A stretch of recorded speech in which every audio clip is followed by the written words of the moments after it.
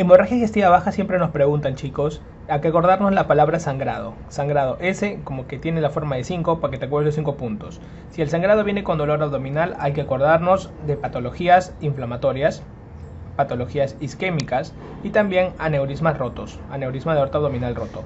Luego tenemos sin dolor abdominal. Generalmente nos preguntan mucho hemorroides. El masivo es la diverticulosis. También tenemos las angiodisplasias y tenemos también el divertículo de Meckel. En el caso de diarrea, una diarrea infecciosa, disentérica y también cuadros inflamatorios asociados.